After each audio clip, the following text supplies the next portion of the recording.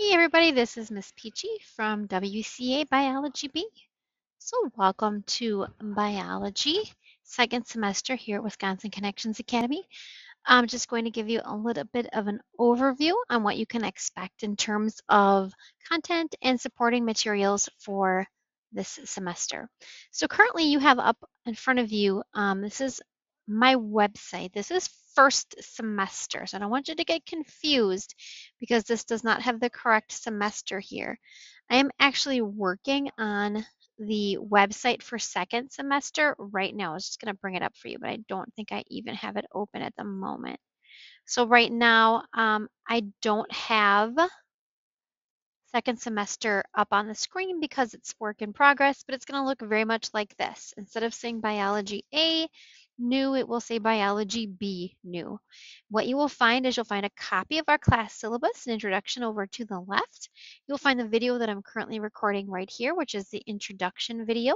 And you're going to find a section with lesson videos and study guides um, linked by unit over to the right. And so to access the videos for that unit, you're just going to click on that unit number. And it's going to take you to a separate screen where you're going to see a video that goes along with each unit or each lesson in the unit.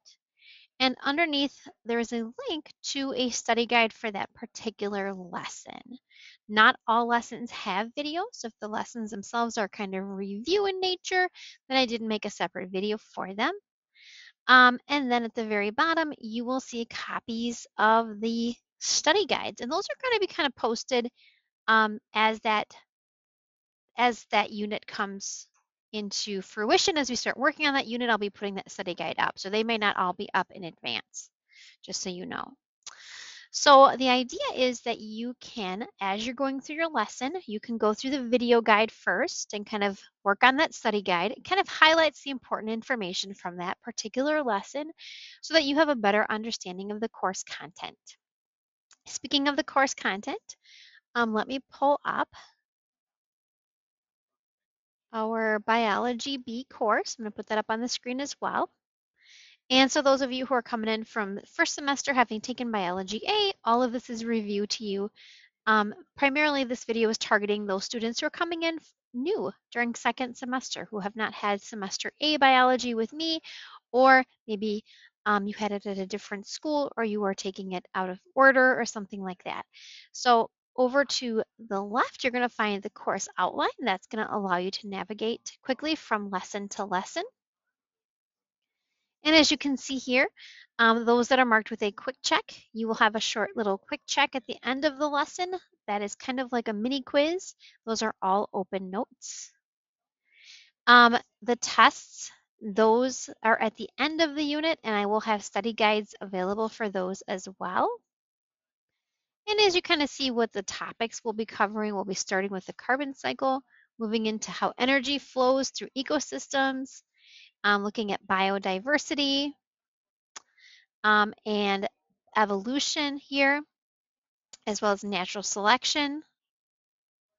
And that kind of takes us throughout the rest of the semester.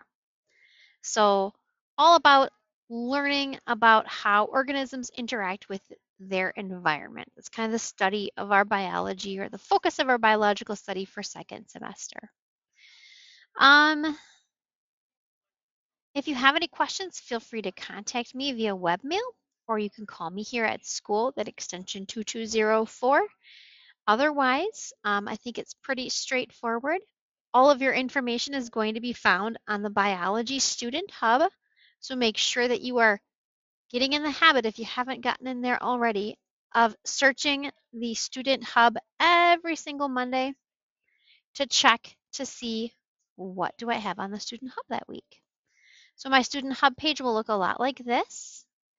Um, just my contact information on top, but also I will be updating this every single week with announcements on what we're doing in class that week and links to any appropriate videos that you may have. Again, there are links here to my website to take you to the page to show you all the different supporting videos and notes guides for that week.